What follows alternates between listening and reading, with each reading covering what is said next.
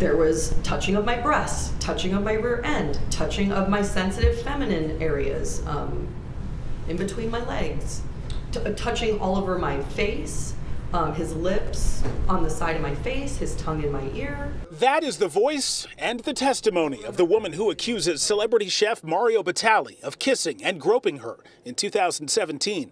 Today, she took the witness stand in this trial for indecent assault and battery, testifying that the incident happened as she was taking selfies with Batali inside the now shuttered Towne Stove and Spirits. That Mario Batali assaulted me that night, yes. The face of the accuser is being concealed per order of the court, and only the judge can see the still photos and the live photos that were taken that night and that are now at the center of this case. They don't show that before after do they?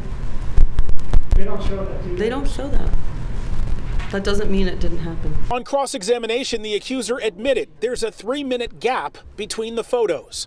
The defense argues the alleged victim would not have gone back to take more photos if Batali had actually kissed and groped her without her consent. You continue to take the selfies despite what you say he was grabbing and assaulting you, correct? That's right. Continue to do it the entire time. That's right.